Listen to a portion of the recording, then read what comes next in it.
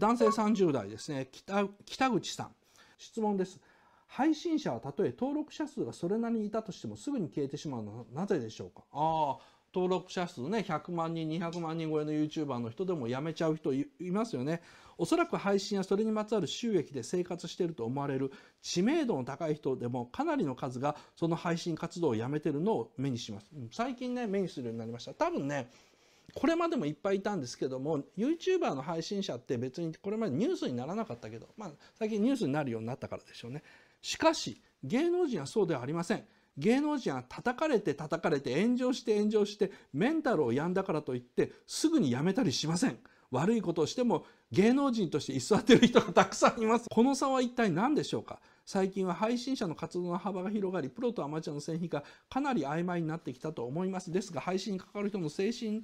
えー、特性にプロとしての気概がないからやめてしまうもしくはケアする体制がふんふんうんぬんくんの岡田先生の意見を聞かせてくださいうーんとねまずね基本的に僕はあの芸能界っていうのはヤクザの世界だと思ってるんですね。ヤクザの世界っていうのはどういうことかっていうとまともな精神ではやってられない世界だと思ってるんですよ。ただですねヤクザは3日やったらやめられないという格言があるんですけども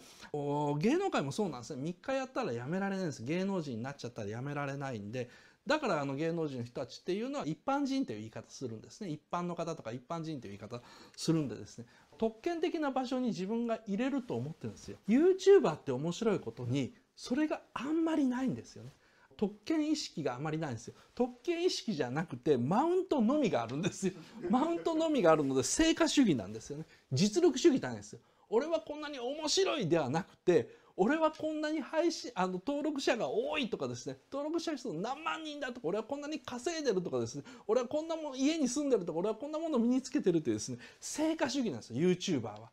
芸能人って僕知ってる限りそうじゃなくてあんまり成果主義の人いないんですね。っていうのはクリエイティブな世界においては売れる売れないっていうのは運の問題であってあと芸能人の人って仕事をもらう立場だから基本的にはもらう立場の人の考え方するんですよ。なので成果主義にならないんですね。だから